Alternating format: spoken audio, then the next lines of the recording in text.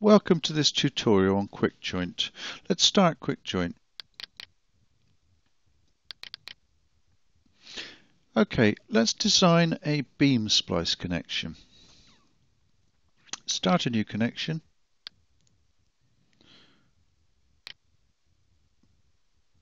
Beam or column splice. Next. Okay, this example is from the Steel Construction Institute's Guide P3 98. Um, I'm going to take the values from there. Now the left hand section is a 457.191.67 UB.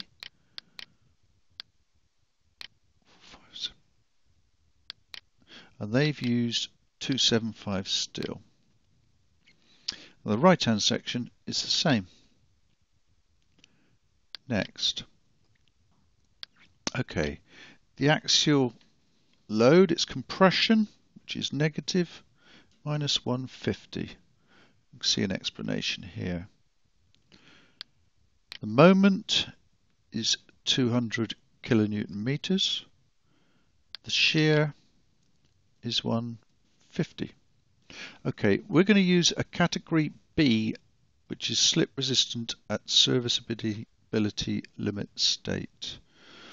And there's a clause reference to Eurocode here, so you can find out exactly what that means if, uh, if you've not come across it before. So,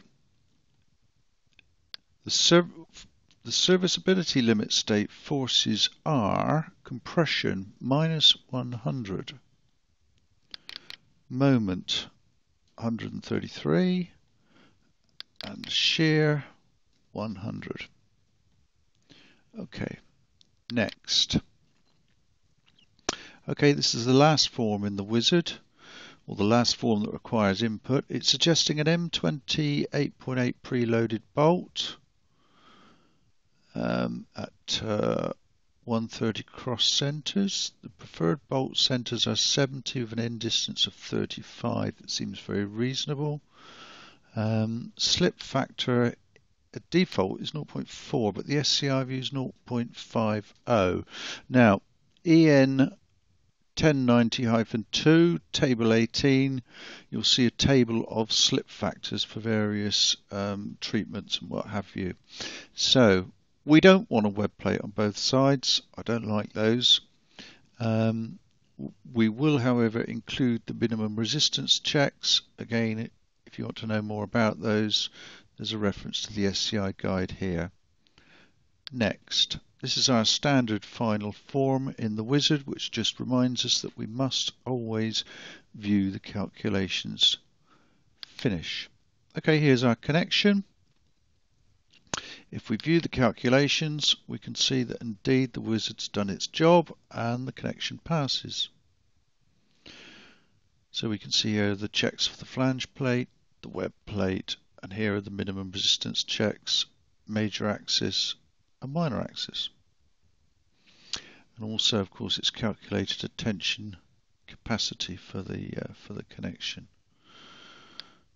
So if we scroll down, we can see all the checks in their detail. Very comprehensive. Everything's there, so you can see exactly what Quikjoint has done. Close.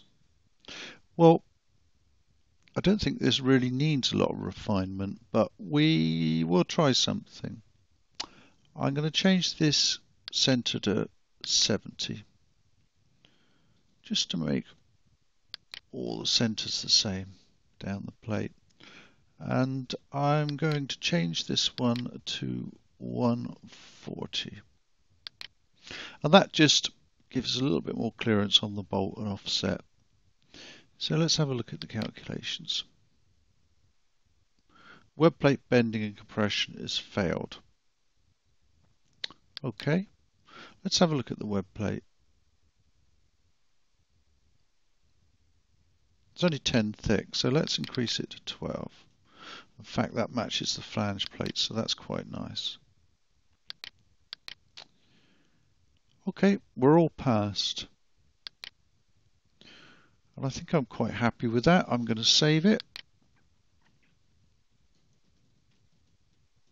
Splice 1 and it's saved.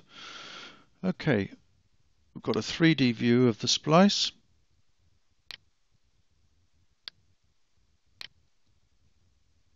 So we can look at the bolt clashes and what have you, which there aren't any of course, and we can view the results. And this is the formal results for the connection, which we can page down.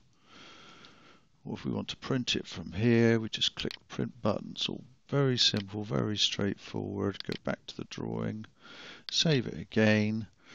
So that was our splice connection. Um, and I think that concludes this tutorial.